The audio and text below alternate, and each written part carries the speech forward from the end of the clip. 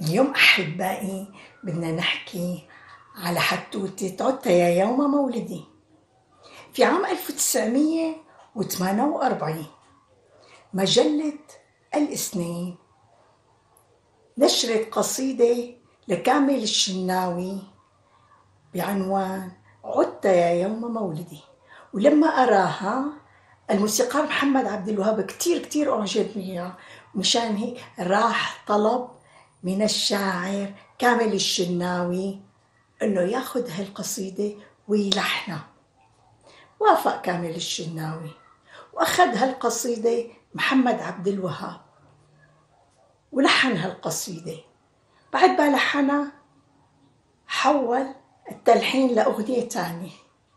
وعاد هي الشغلة كذا مرة يلحن القصيدة وبيعطيها لأغنية تانية.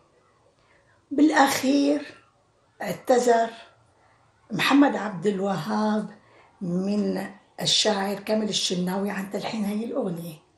وفي عام 1960 بذكرى ميلاد كامل الشناوي قام الموسيقار فريد الأطرش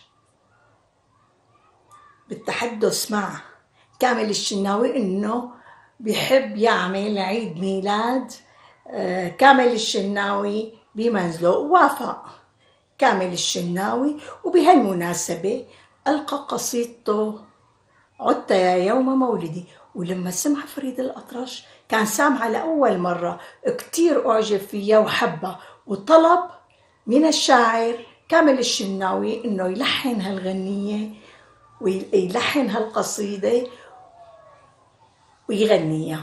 قام وافق كامل الشناوي. من كتر إعجابه فريد الأطرش. بهالغنية طلب من السيناريست يوسف عز الدين والمخرج بركان إنه يعملوا قصة بتناسب هي الغنية. وبالفعل عملوها فيلم وكان عنوان الفيلم يوم بلا غد. وتم غناء هذه الأغنية. والفيلم كان بعام 1961 وهلا بعد ما عرفنا شو قصة أغنية عدت يا يوم مولدي. خلينا نروح مع بعض لنسمع جزء من هالغنية.